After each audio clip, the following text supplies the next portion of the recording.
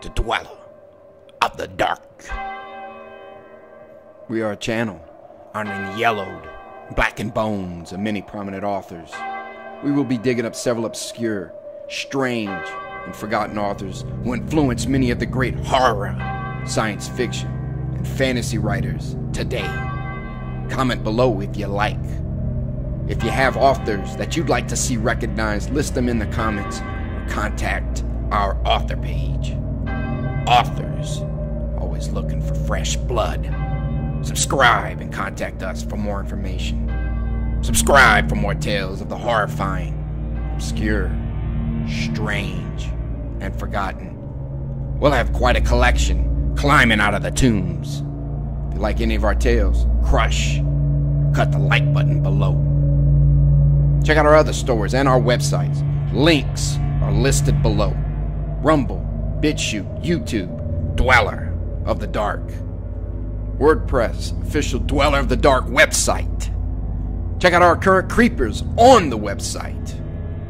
Books are on Amazon and Kindle. You can find us on Facebook at Jeffrey LeBlanc Horror Writer.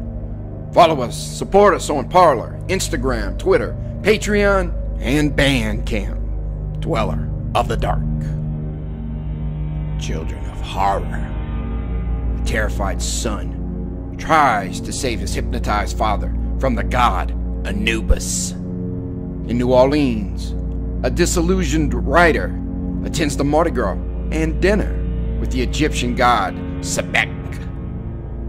And an archaeologist takes a pyramid tour with the evil god Nephren Ka as we continue to decipher and dig our way through a series of Egyptian tales from Robert Bloch. The Egyptian gods hope you won't climb the walls with our latest weird tales. Our fifth episode is Fane of the Black Pharaoh. Our horrific story was published in the December 1937 issue of Weird Tales by our resurrected mummy, Robert Bloch. Our Dark Master commands you to dig deeper through his Egyptian series. The creeping introduction of Fane of the Black Pharaoh, as stated by Weird Tales, says Those eyes shone through the shadows, unwinking, unchanging, omniscient in this little world of the dead. But Robert Bloch's introduction brought more blood and fang. Terrible was the fame of Nephren Ka, and more terrible still was the destiny that Captain Carteret read on the walls of the red litten underground corridors. Our story concerns Captain Carteret and his exploration to an unknown hieroglyphic wall beneath the pyramids of Egypt. The hieroglyphics are in the forbidden catacombs of Nephren Ka. Captain Carteret's guide may or may not be all he claims to be. What is the prophetic secret of the Black Pharaoh? Can our Captain Carteret decipher the wall in time to fulfill his destiny? Fane of the Black Pharaoh by Robert Bloch. Terrible was the fame of Nephren Ka, and more terrible still was the destiny that Captain Carteret read on the walls of the red litten underground corridors. Liar, said Captain Carteret. The dark man did not move, but beneath the shadows of his burnous, a scowl slithered across a contorted countenance. But when he stepped forward into the lamplight, he smiled.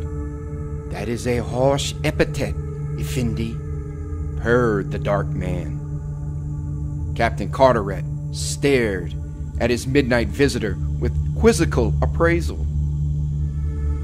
A deserved one, I think, he observed.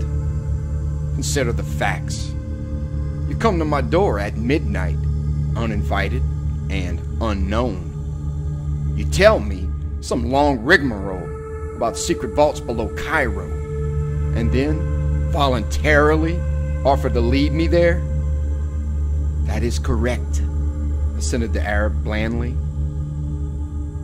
He met the glance of the scholarly captain calmly. Why should you do this? pursued Carteret. If your story is true, and you do possess so manifestly absurd a secret, why should you come to me? Why not claim the glory of discovery yourself? I told you, Effendi, said the Arab, that is against the law of our brotherhood. It is not written that I should do so.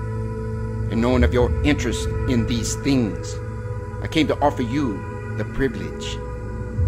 You came to pump me for my information, no doubt. That's what you mean, retorted the captain acidly. You beggars have some devilishly clever ways of getting underground information, don't you? So far as I know, you're here to find out how much I've already learned, so that you and your fanatic thugs can knife me if I know too much. Ah! The dark stranger suddenly leaned forward and peered into the white man's face.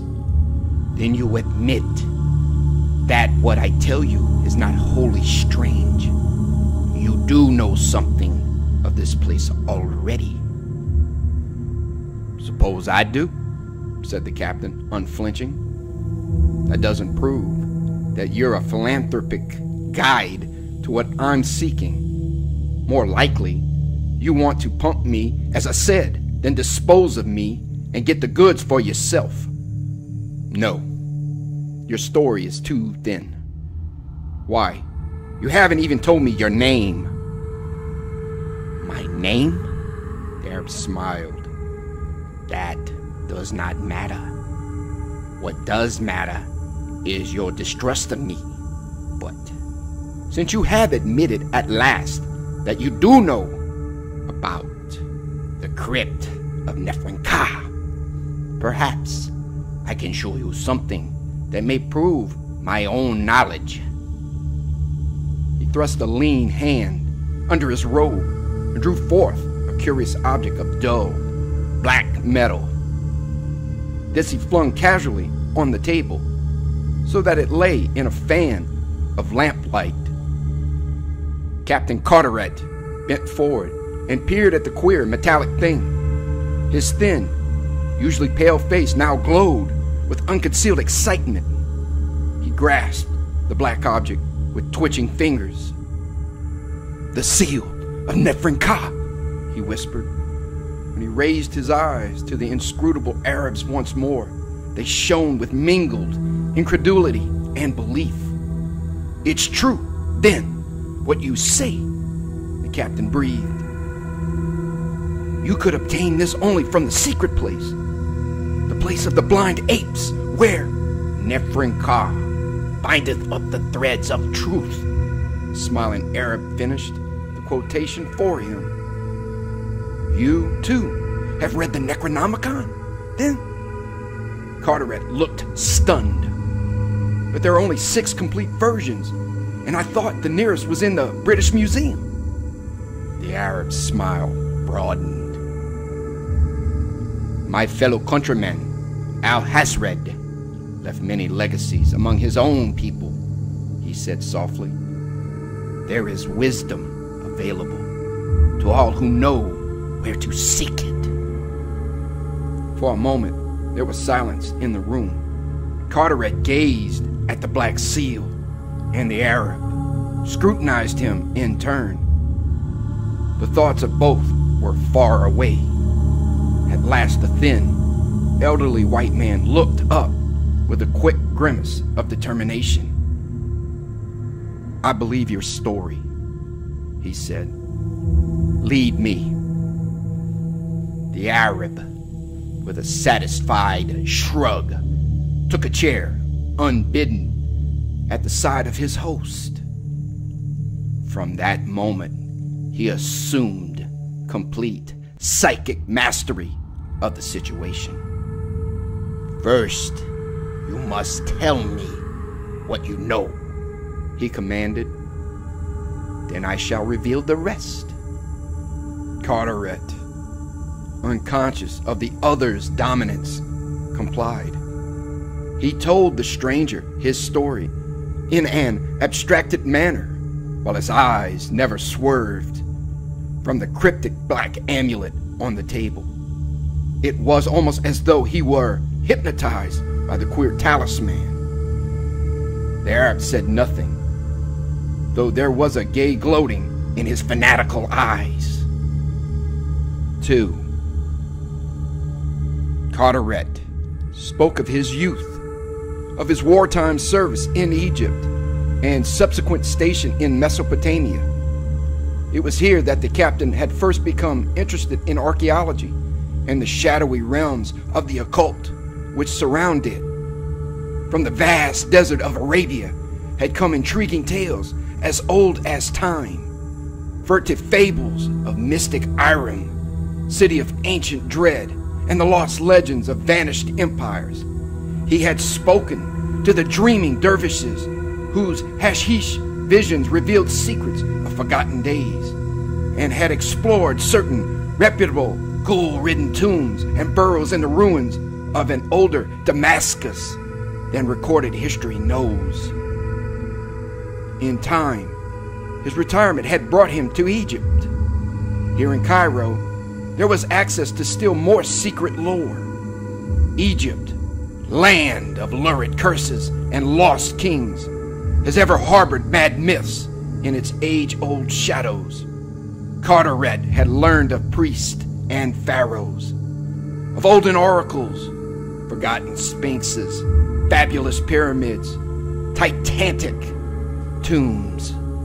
Civilization was but a cobwebbed surface upon the sleeping face of eternal mystery.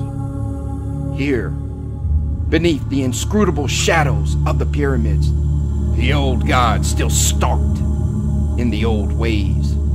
The ghost of Set, Ra, Osiris, and Bubastis lurked in desert ways.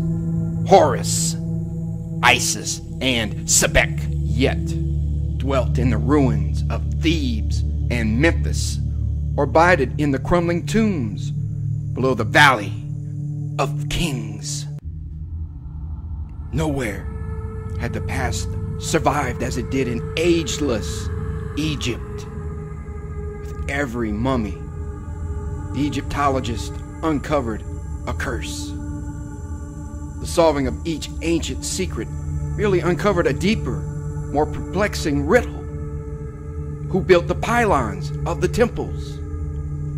Why did the old kings rear the pyramids? How did they work such marvels?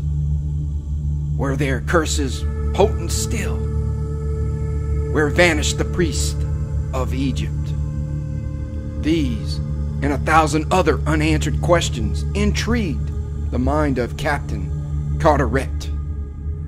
In his newfound leisure, he read and studied, talked with scientists and savants. Ever the quest of primal knowledge beckoned him on to blacker brinks.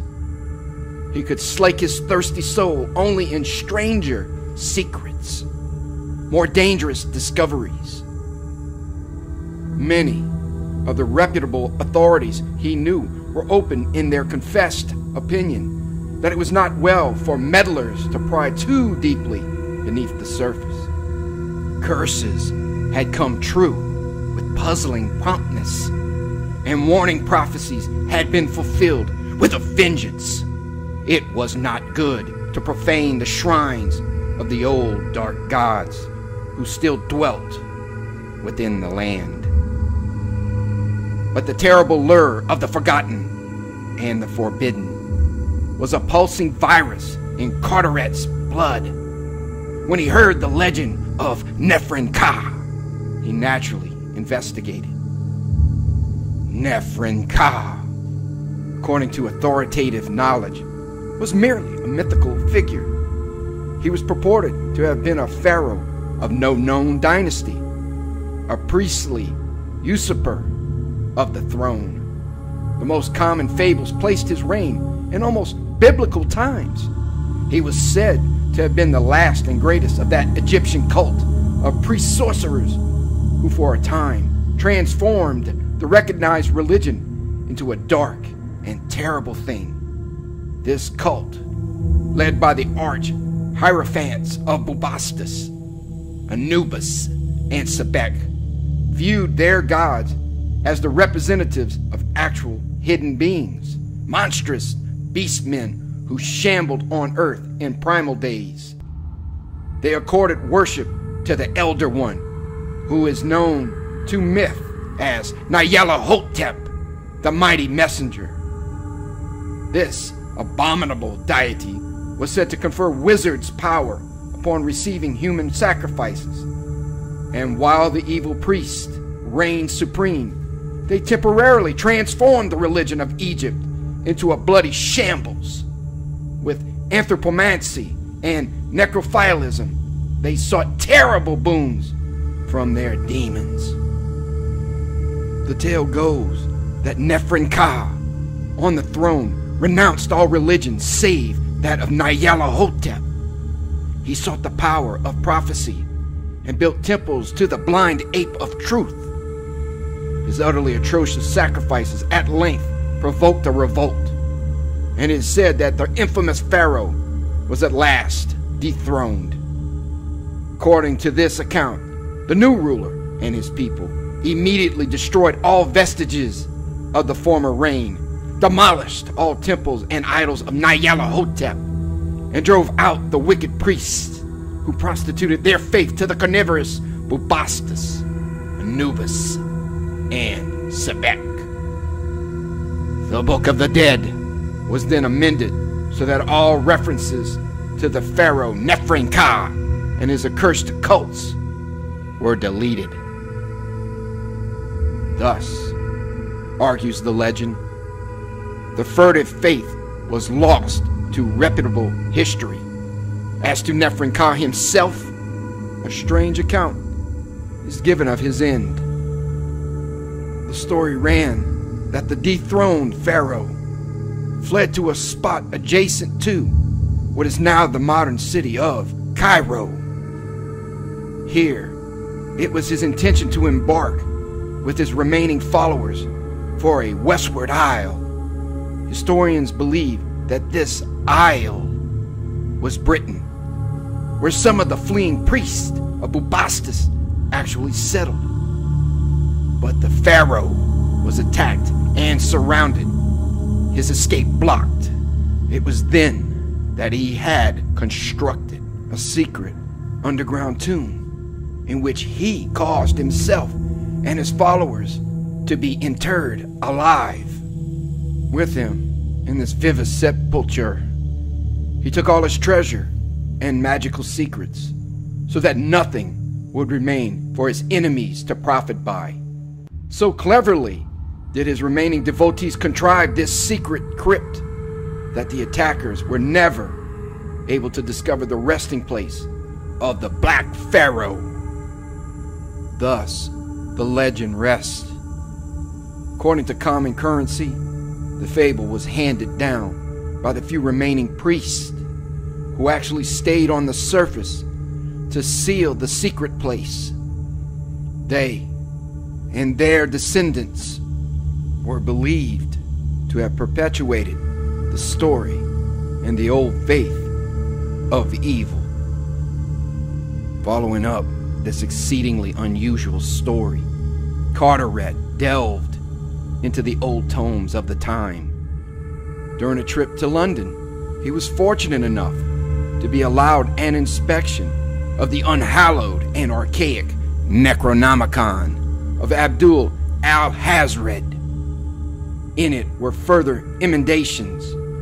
One of his influential friends in the Home Office, hearing of his interest managed to obtain for him a portion of Ludwig Prinn's evil and blasphemous De Vermis Mysteriis, known more familiarly to students of recondite arcana as mysteries of the worm. Here, in that greatly disputed chapter on Oriental myth entitled Saracenic Rituals, Carteret found still more concrete elaborations of the Nephren Ka tale. Prinn, who consorted with the medieval seers and prophets of Saracen times in Egypt, gave a good deal of prominence to the whispered hints of Alexandrian necromancers and adepts. They knew the story of Nephren Ka and alluded to him as the Black Pharaoh. Prinn's account of the Pharaoh's death was much more elaborate. He claimed that the secret tomb lay directly beneath Cairo itself and professed to believe that it had been opened and reached. He hinted at the cult survival mentioned in the popular tales, spoke of a renegade group of descendants whose priestly ancestors had interred the rest alive. They were said to perpetuate the evil faith and to act as guardians of the dead Nephren Ka and his buried brethren, lest some interloper discover and violate his resting place in the crypt. After the regular cycle of 7,000 years, the Black Pharaoh and his band would then arise once more and restore the dark glory of the ancient faith.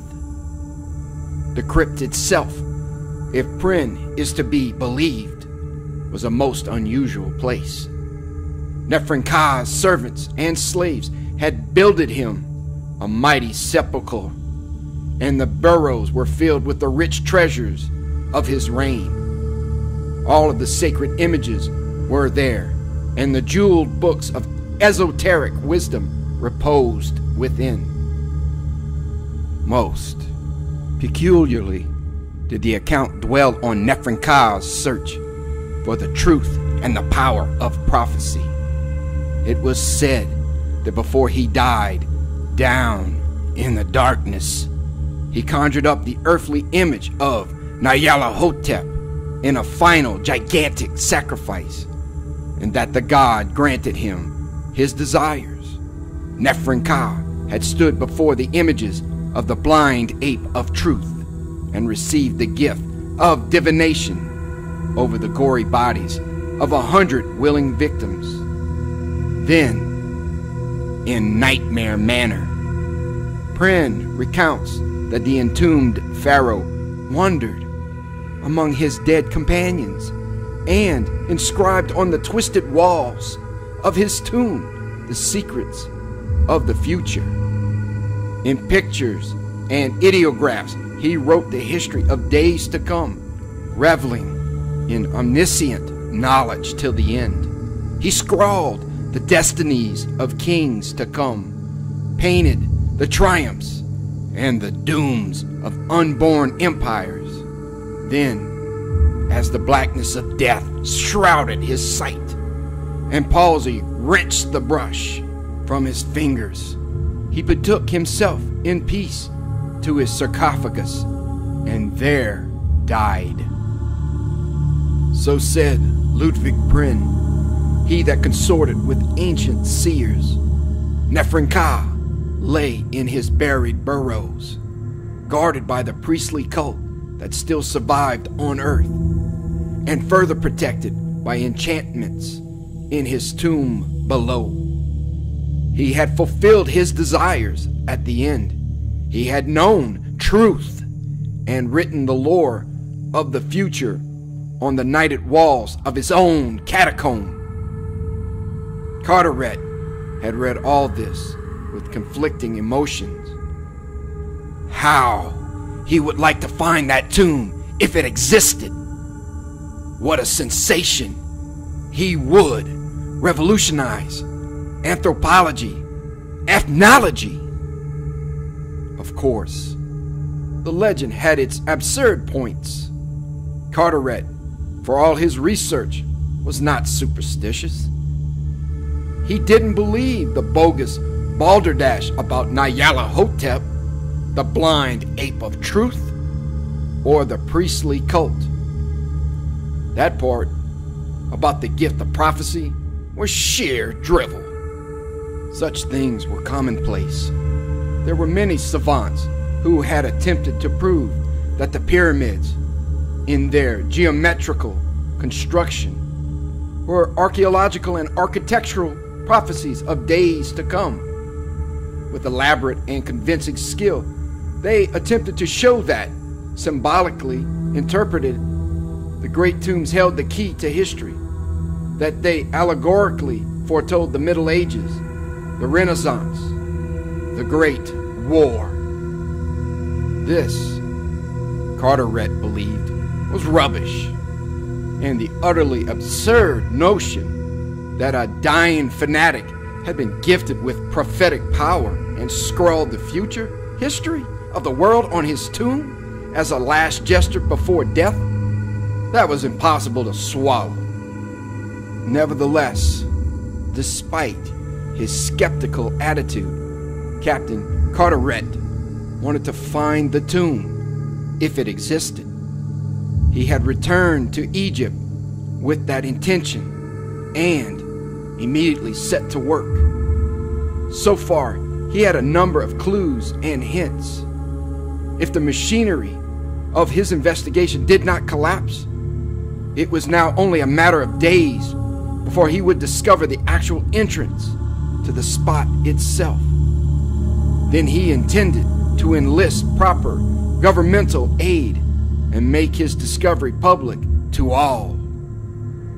This much he now told the silent Arab who had come out of the night with a strange proposal and a weird credential. The seal of the Black Pharaoh, Nephren Ka. 3. When Carteret finished his summary, he glanced at the dark stranger in interrogation. What next? he asked. Follow me, said the other urbanely. I shall lead you to the spot you seek. Now? gasped Carteret. The other nodded. But it's too sudden. I mean, the whole thing is like a dream. You come out of the night, unbidden and unknown. Show me the seal, and graciously offer to grant me my desires? Why? It doesn't make sense. This makes sense. The grave Arab indicated the black seal. Yes, admitted Carteret. But how can I trust you? Why must I go now? Wouldn't it be wiser to wait and get the proper authorities behind us? Won't there be need of excavation? Aren't there necessary instruments to take? No. The other spread his palms upward. Just come. Look here. Carteret's suspicion crystallized in his sharp tones. How do I know this isn't a trap? Why should you come to me this way? Who the devil are you? Patience. The dark man smiled. I shall explain all. I have listened to your accounts of the legend with great interest. And while your facts are clear, your own view of them is mistaken. The legend you have learned of is true. All of it. Nephren Ka did write the future on the walls of his tomb when he died. He did possess the power of divination, and the priest who buried him formed a cult, which did survive. Yes? Carteret was impressed, despite himself. I am one of those priests. The words stabbed like swords in the white man's brain. Do not look so shocked. It is the truth. I am a descendant of the original cult of Nephren Ka, one of those inner initiates who have kept the legend alive. I worship the power which the Black Pharaoh received, and I worship the god Nyarlathotep who accorded that power to him. To us believers, the most sacred truth lies in the hieroglyphs inscribed by the divinely gifted Pharaoh before he died. Throughout the ages, we guardian priests have watched history unfold, and always it has agreed with the ideographs on those tunneled walls. We believe. It is because of our belief that I have sought you out. For within the secret crypt of the Black Pharaoh, it is written upon the walls of the future that you shall descend there. Stunning silence. Do you mean to say, Carteret gasped, that those pictures show me discovering the spot? They do assented the dark man slowly. That is why I came to you unbidden. You shall come with me and fulfill the prophecy tonight, as it is written. Suppose I don't come, flashed Captain Carteret suddenly. What about your prophecy then? The Arab smiled. You'll come he said. You know that. Carteret realized that it was so. Nothing could keep him away from this amazing discovery. A thought struck him. If this wall really records the details of the future, he began, perhaps you can tell me a little about my own coming history. Will this discovery make me famous? Will I return again to the spot? Is it written that I am to bring the secret of Nephren Ka to light? The dark man looked grave. That I do not know, he admitted. I neglected to tell you something about the walls of truth. My ancestor, he who first descended into the secret spot after it had been sealed he who first looked upon the work of prophecy did a needful thing, deeming that such wisdom was not for lesser mortals. He piously covered the walls with concealing tapestry. Thus, none might look upon the future too far. As time passed, the tapestry was drawn back to keep pace with the actual events of history, and always they have coincided with the hieroglyphs. Through the ages, it has always been the duty of one priest to descend to the secret tomb each day and draw back the tapestry so as to reveal the events of the day that follows. Now, during my life, that is my mission. My fellows devote their time to the needful rites of worship in hidden places. I alone descend the concealed passage daily and draw back the curtain on the walls of truth. When I die, another will take my place. Understand me. The writing does not minutely concern every single event, merely those which affect the history and destiny of Egypt itself. Today, my friend, it was revealed that you should descend and enter into the place of your desire. What the morrow holds in store for you, I cannot see until the curtain is drawn once more. Carteret sighed. I suppose that there is nothing else left but for me to go then. His eagerness was ill dissembled. The dark man observed this at once and smiled cynically while he strode to the door. Follow me, he commanded. To Captain Carteret, that walk through the moonlit streets of Cairo was blurred in chaotic dream. His guide led him into labyrinths of looming shadows. They wandered through the twisted native quarters and passed through a maze of unfamiliar alleys and thoroughfares.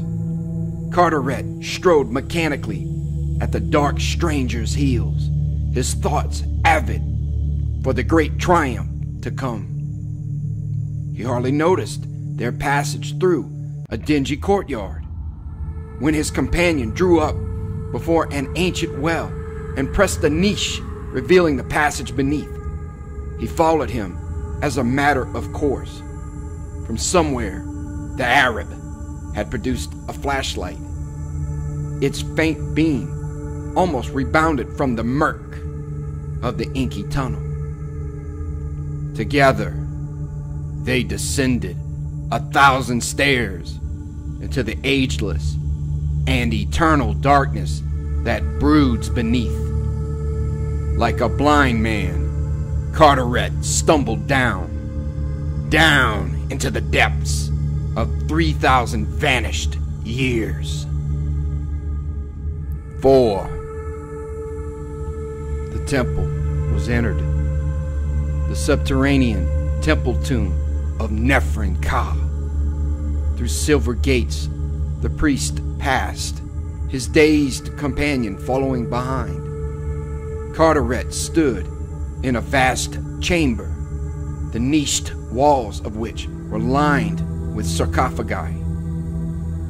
They hold the mummies of the interred priest and servants, explained his guide. Strange were the mummy cases of Nephren Ka's followers, not like those known to Egyptology. The carven covers bore no recognized conventional features, as was the usual custom. Instead, they presented the strange, grinning countenances of demons and creatures of fable.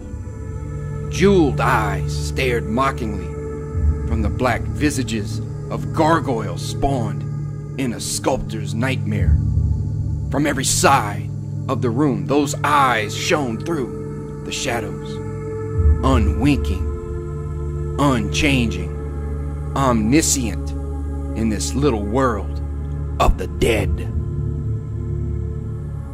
Carteret stirred uneasily.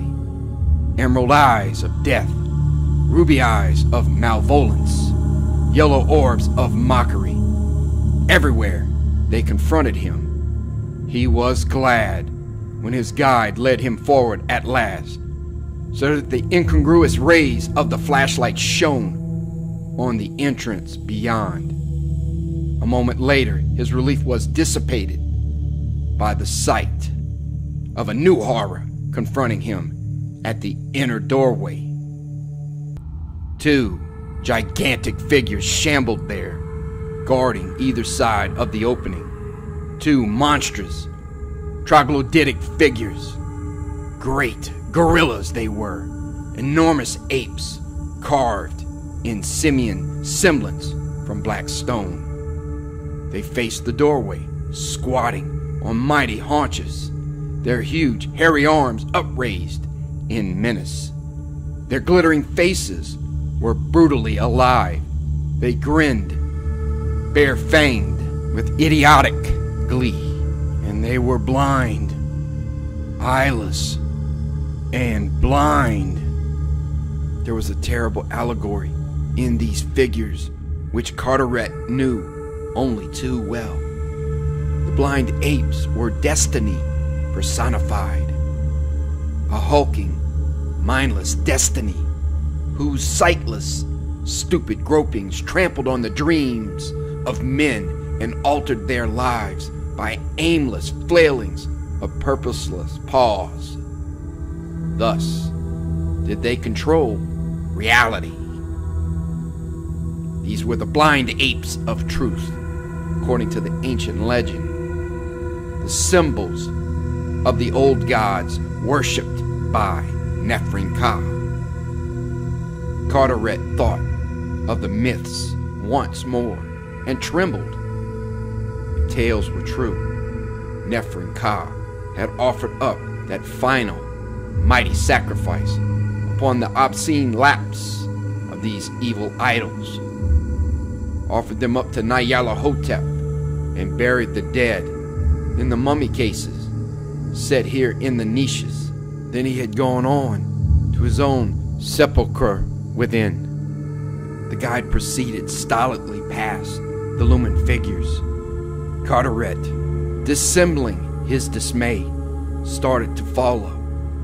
For a moment, his feet refused to cross that gruesomely guarded threshold into the room beyond. He stared upward to the eyeless, ogreish faces that leered down from dizzying heights with the feeling that he walked in realms of sheer nightmare. But the huge arms beckoned him on. The unseen faces were convulsed in a smile of mocking invitation. The legends were true. The tomb existed. Would it not be better to turn back now, seek sane aid, and return again to this spot? Besides, what unguessed terror might not lair in the realms beyond? Would horror spawn in the sable shadows of Nephren Ka's inner secret sepulchre? All reason urged him to call out to the strange priest and retreat to safety. But the voice of reason was but a hushed and awe stricken whisper here in the brooding burrows of the past. This was a realm of ancient shadow where antique evil ruled. Here, the incredible was real, and there was a potent fascination in fear itself. Carteret knew that he must go on. Curiosity, cupidity, the lust for concealed knowledge, all impelled him, and the blind apes grinned their challenge or command. The priest entered the third chamber, and Carteret followed. Crossing the threshold, he plunged into an abyss of unreality. The room was lighted by braziers set in a thousand stations. Their glow bathed the enormous burrow with fiery luminance. Captain Carteret, his head reeling from the heat and mephitic miasma of the place, was thus able to see the entire extent of this incredible cavern, seemingly endless. A vast corridor stretched on a downward slant into the earth beyond. A vast corridor, utterly barren, save for the winking red braziers along the walls. Their flaming reflections cast grotesque shadows that glimmered with unnatural life. Carteret felt as though he were gazing on the entrance to Karneter, the mythical underworld of Egyptian lore. Here we are, said his guide softly. The unexpected sound of a human voice was startling. For some reason, it frightened Carteret more than he cared to admit. He had fallen into a vague acceptance of these scenes as being part of a fantastic dream. Now, the concrete clarity of a spoken word only confirmed an eerie reality. Yes, here they were, in the spot of legend, the place known to Alhazred, Prinn, and all the dark delvers into unhallowed history. The tale of Nephren Ka was true, and if so, what about the rest of this strange priest statements? What about the walls of truth on which the Black Pharaoh had recorded the future, had foretold Carteret's own advent on the secret spot. As if in answer to these inner whispers, the guide smiled. Come, Captain Carteret, do you not wish to examine the walls more closely? The captain did not wish to examine the walls. Desperately, he did not, for they, if in existence, would confirm the ghastly horror that gave them being. If they existed, it meant that the whole evil legend was real, that Nephren Ka, Black Pharaoh of Egypt, had indeed sacrificed to the dread dark gods, and that they had answered his prayer. Captain Carteret did not greatly wish to believe in such utterly blasphemous abominations as Nyarlathotep. He sparred for time. Where's the tomb of Nephren Ka himself? He asked. Where are the treasure and the ancient books? The guide extended a lean forefinger. At the end of this hall, he exclaimed, peering down the infinity of lighted walls. Carteret indeed fancied that his eyes could detect a dark blur of objects in the dim distance. Let us go there, he said. The guide shrugged. He turned, and his feet moved over the velvet dust. Carteret followed, as if drugged. The walls, he thought. I must not look at the walls. The walls of truth. The Black Pharaoh sold his soul to Nyarlathotep and received the gift of prophecy. Before he died, here, he wrote the future of Egypt on the walls. I must not look, lest I believe. I must not know. Red lights glittered on either side, step after step, light after light, glare, gloom, glare, gloom, glare. The lights beckoned, enticed, attracted. Look at us, they commanded. See, dare to see all. Carteret followed his silent conductor. Look, flashed the lights. Carteret's eyes grew glassy. His head throbbed. The gleaming of the lights was mesmeric. They hypnotized with their allure. Look! Would this great hall never end? No. There were thousands of feet to go. Look! challenged the leaping lights. Red serpent eyes in the underground dark. Eyes of tempters, bringers of black knowledge. Look! Wisdom! No! Winked the lights. They flamed in Carteret's brain. Why not look? It was so easy. Why fear? Why? His dazed mind repeated the question. Each following flare of fire weakened the question. At last, Carteret looked. Five. Mad minutes passed before he was able to speak. Then he mumbled in a voice audible only to himself. True, he whispered. All true. He stared at the towering wall to his left, limned in red radiance. It was an interminable Bayeux tapestry carved in stone. The drawing was crude, in black and white, but it frightened. This was no ordinary Egyptian picture writing. It was not in the fantastic, symbolical style of ordinary hieroglyphics. That was the terrible part. Nephren Ka was a realist. His men looked like men. His buildings were buildings.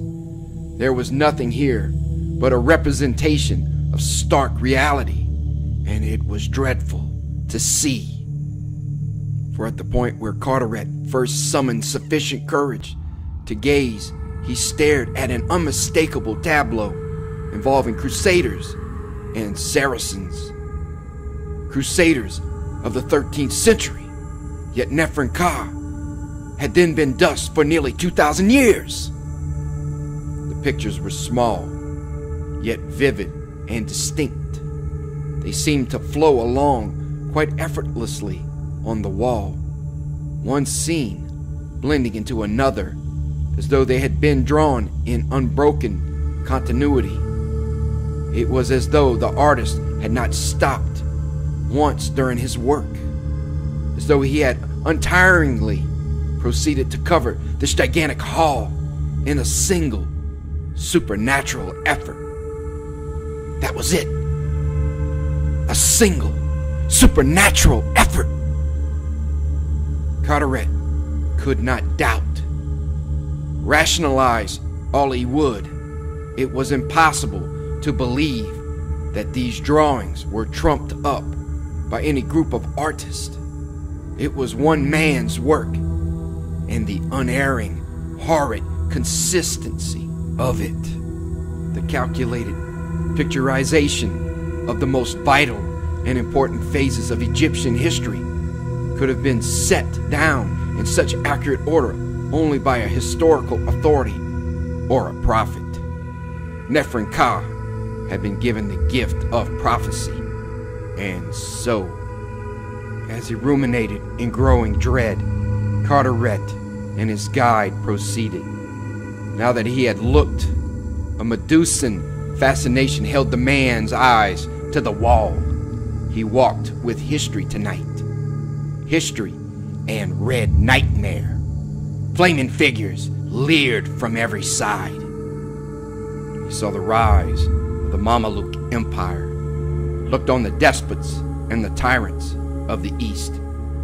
Not all of what he saw was familiar to Carteret, for history has its forgotten pages.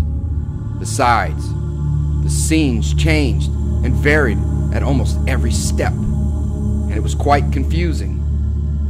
There was one picture interspersed with an Alexandrian court motif, which depicted a catacomb, evidently in some vaults beneath the city. Here were gathered a number of men in robes which bore a curious similarity to those of Carteret's present guide. They were conversing with a tall, white bearded man whose crudely drawn figure seemed to exude an uncanny aura of black and baleful power. Ludvig Prinn, said the guide softly, noting Carteret's stare. He mingled with our priest, you know. For some reason, the depiction of this almost legendary seer stirred Carteret more deeply than any other hitherto revealed terror. The casual inclusion of the infamous sorcerer in the procession of actual history hinted at dire things. It was as though Carteret had read a prosaic biography of Satan in Who's Who. Nevertheless, with a sort of heartsick craving, his eyes continued to search the walls as they walked onward to the still indeterminate end of the long, red illumined chamber in which Nephren Ka was interred. The guide, priest now, for Carteret no longer doubted, proceeded softly but stole covert glances at the white man as he led the way. Captain Carteret walked through a dream. Only the walls were real now, the walls of truth. He saw the Othmans rise and flourish, looked on forgotten battles and unremembered kings. Often there recurred in the sequence a scene depicting the priest of Nephren Ka's own furtive cult. They were shown amidst the disquieting surroundings of catacombs and tombs, engaged in unsavory occupations and revolting pleasures. The camera film of time rolled on. Captain Carteret and his companion walked on, Still, the walls told their story. There was one small division of the wall which portrayed the priest conducting a man in Elizabethan costume through what seemed to be a pyramid. It was eerie to see the gallant in his finery pictured amidst the ruins of ancient Egypt, and it was very dreadful indeed to almost watch like an unseen observer when a stealthy priest knifed the Englishman in the back as he bent over a mummy case. What now impressed Carteret was the infinitude of detail in each pictured fragment. The features of all the men were almost photographically exact. The drawing, while crude, was lifelike and realistic. Even the furniture and background of every scene were correct. There was no doubting the authenticity of it all, and no doubting of the veracity thereby implied. But what was worse, there was no doubting that this work could not have been done by any normal artist, however learned, unless he had seen it all. Nephren Ka had seen it all in prophetic vision after his sacrifice to Nyarlathotep. Carteret was looking at truths inspired by a demon. On and on to the flaming fane of worship and death at the end of the hall. History progressed as he walked. Now he was looking at a period of Egyptian lore that was almost contemporary. The figure of Napoleon appeared. The Battle of Abu Qir, the massacre of the pyramids, the downfall of the Mameluke horsemen, the entrance to Cairo. Once again, a catacomb with priests and three figures, white men in French military regalia of the period. The priests were leading them into a red room. The Frenchmen were surprised, overcome, slaughtered. It was vaguely familiar. Carteret was recalling what he knew of Napoleon's commission. He had appointed savants and scientists to investigate the tombs and pyramids of the land. The Rosetta Stone had been discovered, and other things. Quite likely, the three men shown had blundered onto a mystery the priest of Nephren Ka had not wanted to have unveiled. Hence, they had been lured to death as the walls showed. It was quite familiar. But there was another familiarity which Carteret could not place. They moved on, and the years rushed by in panorama. The Turks, the English, Gordon, the plundering of the pyramids, the World War, and ever so often a picture of the priest of Nephren Ka and a strange white man in some catacomb or vault. Always the white man died. It was all familiar. Carteret looked up and saw that he and the priest were very near to the blackness at the end of the great fiery hall. Only a hundred steps or so, in fact. The priest, face hidden in his burnous was beckoning him on. Carteret looked at the wall. The pictures were almost ended, but no. Just ahead was a great curtain of crimson velvet on a ceiling rack, which ran off into the blackness and reappeared from shadows on the opposite side of the room to cover the wall.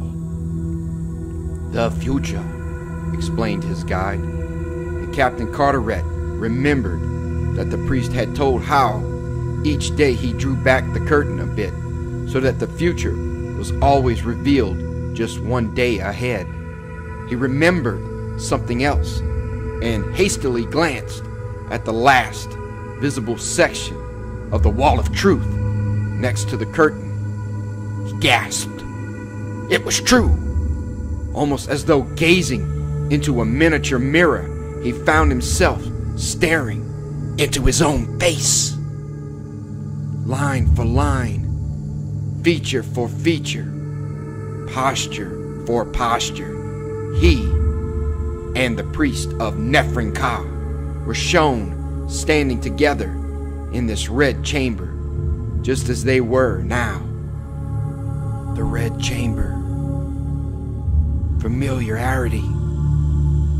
The Elizabethan man with the priest of Nephren Ka were in a catacomb when the man was murdered. The French scientists were in a red chamber when they died. Other, later Egyptologists, had been shown in a red chamber with the priest, and they too had been slain. The red chamber. Not familiarity, but similarity. They had been in this chamber, and now he stood here with a priest of Nephren Ka. The others had died because they had known too much. Too much about what? Nephren Ka? A terrible suspicion began to formulate into hideous reality. The priest of Nephren Ka protected their own. This tomb of their dead leaders was also their fane, their temple. When intruders stumbled onto the secret, they lured them down here and killed them, lest others learn too much. Had not he come in the same way? The priest stood silent as he gazed at the wall of truth. Midnight, he said softly. I must draw back the curtain to reveal yet another day before we go on. You expressed a wish, Captain Carteret, to see what the future holds in store for you. Now, that wish shall be granted. With a sweeping gesture, he flung the curtain back along the wall for a foot. Then he moved swiftly. One hand leapt from the burnous. A gleaming knife flashed through the air, drawing red fire from the lamps, then sank into Carteret's back, drawing redder blood. With a single groan, the white man fell. In his eyes, there was a look of supreme horror, not born of death alone. For as he fell, Captain Carteret read his future in the walls of truth, and it confirmed a madness that could not be. As Captain Carteret died, he looked at the picture of his next hours of existence, and he saw himself being knifed by the priest of Nephren Ka. The priest vanished from the silent tomb, just as the last flicker of dying eyes showed to Carteret the picture of a still white body, his body, lying in death before the wall of truth.